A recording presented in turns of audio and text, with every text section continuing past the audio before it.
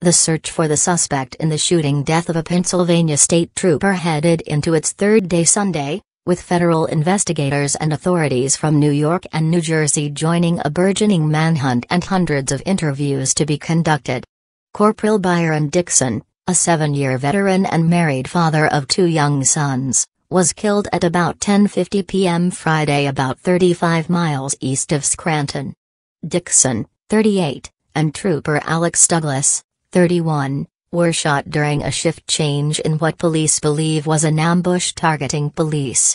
Douglass remained in critical but stable condition Sunday following surgery for gunshot wounds at Scranton's Geisinger Medical Center.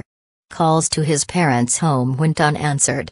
Authorities are focusing their search efforts in eastern Pennsylvania, with the FBI and Federal Bureau of Alcohol, Tobacco, Firearms and Explosives assisting the state probe.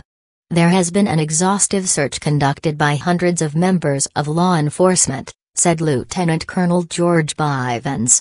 We have canvassed the wooded areas, neighborhoods. We are convinced this individual is no longer in that immediate area.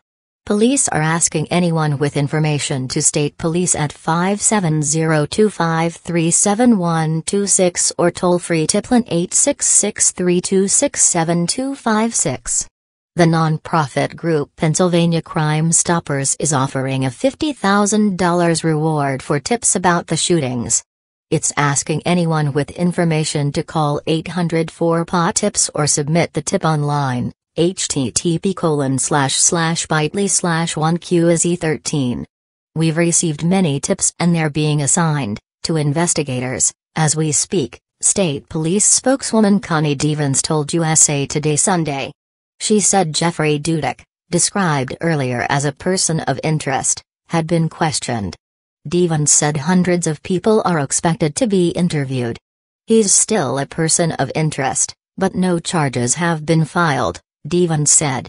Blooming Grove is a township of about 4,000 people about 35 miles east of Scranton. State Police spokesman Trooper Adam Reed said the barracks govern most of Pike County, which runs along the Delaware River and borders New Jersey and New York. There's a lot of rural area up where they patrol, he said. As the primary police force in the county, they're going to respond to anything and everything. Governor Tom Corbett ordered a Pennsylvania flags at state facilities to fly at half staff. The incident in Blooming Grove shows, once again, that our first responders face constant danger in order that the rest of us may live in peace and safety, Corbett said. Wives of state troopers in Pike County have set up an online fund to help the troopers' families with a target of raising $25,000. So far, they've raised $6,625.